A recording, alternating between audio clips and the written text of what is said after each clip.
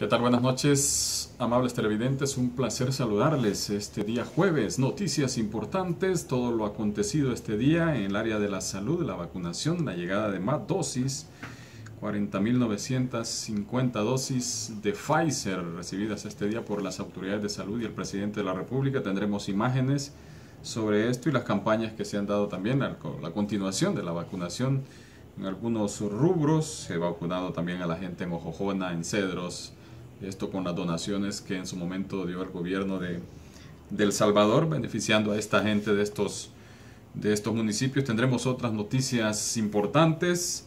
La CUT, la Confederación de Trabajadores, anunciando movilizaciones, eh, reclamando por las sedes, la Cámara de Comercio reclamando más vacunas y también la sesión del Congreso Nacional que se ha celebrado este, este día la aprobación de algunos decretos importantes, préstamos también por parte del Congreso Nacional y la Secretaría de Educación que anuncia su experimento de que los niños puedan volver a clases, pero las clases serían, eh, bueno, con la mitad de los alumnos que estén matriculados en un, en un aula.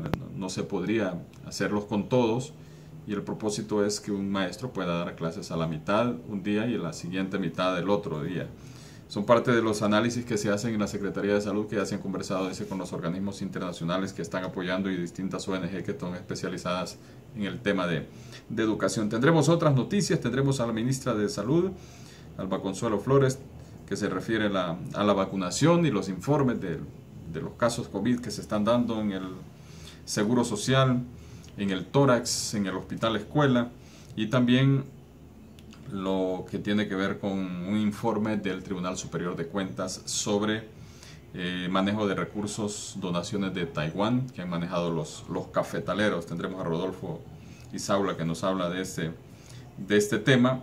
Y también a Rommel Martínez, información sobre la Policía Nacional, algunos detenidos, investigaciones de parte de la, de la DPI. Vamos a dejarlos a continuación con Franklin Gómez, subdirector del Hospital Escuela que sigue mencionando las carencias, las dificultades en el hospital y las salas llenas de COVID. Lamentable porque muy poca gente se está cuidando, dice don Franklin. Veamos.